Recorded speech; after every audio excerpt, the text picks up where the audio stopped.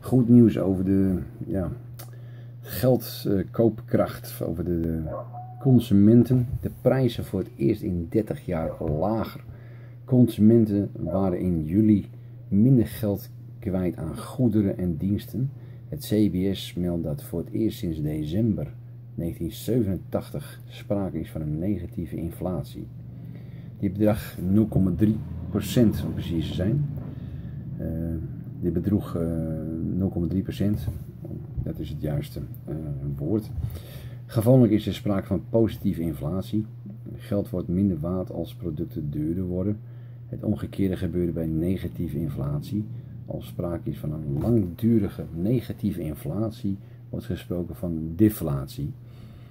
Vooral de lagere huren en de goedkope voedingsmiddelen drukken de prijzen.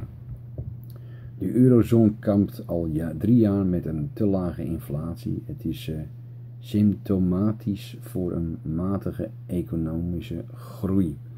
Dus de prijzen voor het eerst in 30 jaar lager. Dat meldt het uh, CBS. Consumenten worden in juli minder geld, zijn waren minder geld kwijt aan goederen en diensten. Dat is berichtgeving over de prijzen in Nederland. Nou, we gaan het weer beleven en uh, massa positieve en tot de volgende keer.